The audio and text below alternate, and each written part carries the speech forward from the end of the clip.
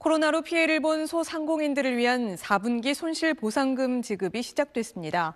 정부는 전기와 가스 요금도 3개월 미뤄주기로 했는데 소상공인들은 그 전에 피해를 본 것도 보상해달라며 오늘 집단 소송을 내기로 했습니다. 김보미 기자입니다.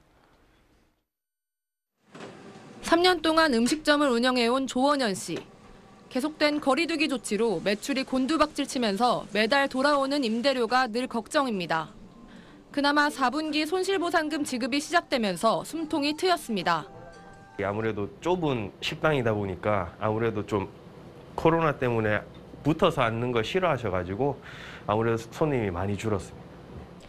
지난해 4분기 영업시간 제한 조치로 매출이 감소한 소상공인과 함께 숙박시설, 이미용업 등 15만 명도 보상금을 신청할 수 있게 됐습니다. 1인당 평균 244만 원, 모두 90만 명에게 지급됩니다. 이와 함께 정부는 소상공인들의 공과금과 보험료를 3개월 납부 유예하기로 했습니다.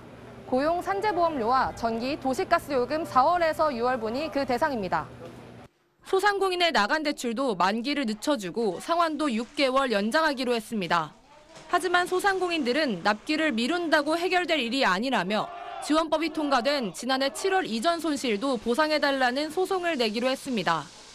자영업단체는 손실 입증 자료를 준비한 2천여 명이 오늘 먼저 소송을 내고 앞으로도 집단 소송 참여를 늘려가겠다고 밝혔습니다. SBS 김봄입니다.